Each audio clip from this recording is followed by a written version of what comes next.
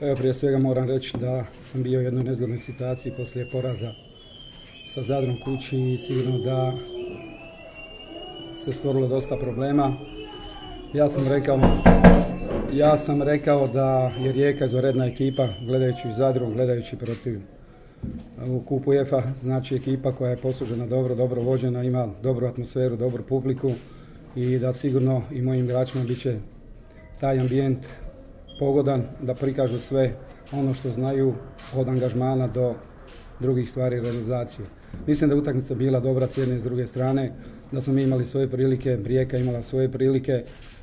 Što se tiče golova, mislim da su jedan i drugi regularni, jer je vratar gurnio mog igrača i bacio se onda do te lopte, a isto tako, ako ćemo gledati neke druge situacije, bio je naš aut kad smo primili taj gol.